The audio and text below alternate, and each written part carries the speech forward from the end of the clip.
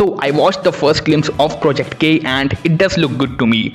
The least I could say after looking at the teaser is that the director Nag Ashwin is ambitious about this movie. Yes, I know that the movie is giving some Dune vibes, but I'm ready to give this film a chance. I've watched the dystopian films like Mad Max Fury Road. Now I'm curious to see how an Indian filmmaker would explore a dystopian universe. I won't lie, when I saw the first look poster of Prabhas in Project K, I didn't like it. It looks like a fan made poster. Those flying rocks, the cracks on the ground, the sparks, and that yellowish color tone, the poster just looks so amateurish for a 600 crore movie. Would you believe that it's a poster from a 600 crore film? I won't.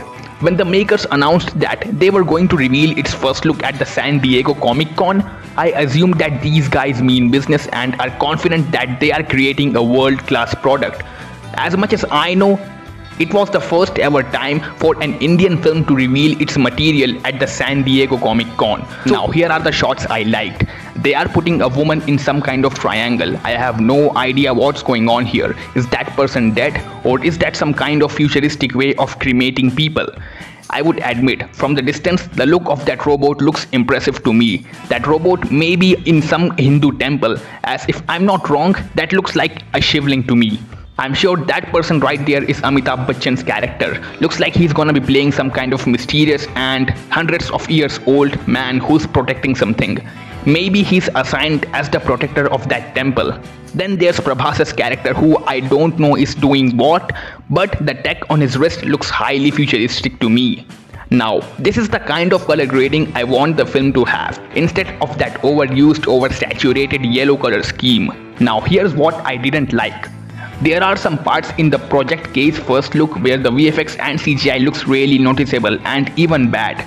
Like this shot. Here I think the blue color grading should have been darker, giving this shot a serious tone.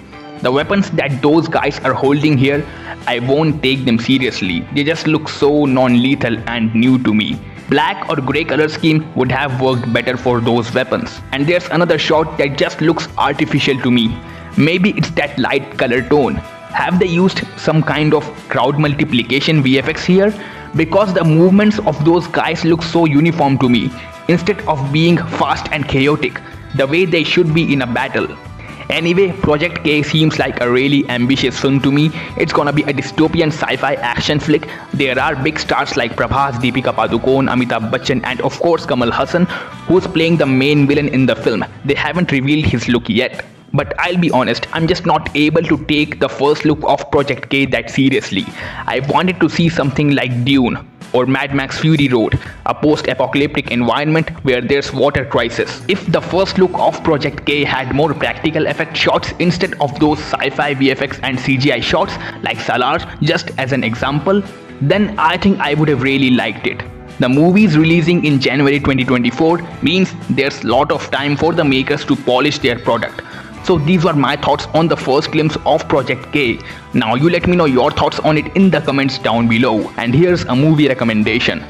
The Roundup No Way Out. It's a South Korean crime action film a third film in the Crime City series after The Outlaws and The Roundup. The movie stars Don Lee as a police officer who investigates a murder case and then comes across the involvement of a drug racket behind it. The reason I watched this film is because I just love seeing Don Lee beat the shit out of bad guys. His character is just so badass. If you liked this video, let me know by giving it a thumbs up and stay updated of my upcoming videos by subscribing to Style and Punch and following us on Instagram. Take care and see you in another video.